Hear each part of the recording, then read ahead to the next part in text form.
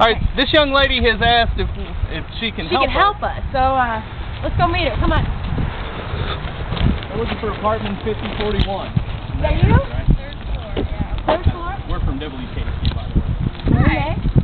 And I- meet you. Hi. And your Happy wonderful boyfriend has sent you a Valentine, courtesy WKDQ to keep because he loves you that much.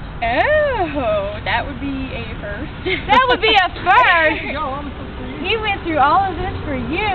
Wow. You've got a black Bucky bakery gift basket.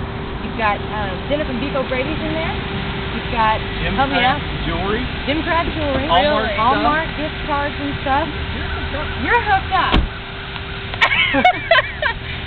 wow. Do you think Um, you can maybe say he's all right? He's great. Right now, he's, He's great got right major now. brownie points. Major brownie points. Okay. Think about sharing with him maybe a little bit. Uh, maybe a little bit. All right. Cupid has shot his arrow in your Yeah, heart. I'm. Yeah, I'm flabbergasted. Flabbergasted. I don't know what to say. Happy Valentine's Day. Thank you, KDQ. wow.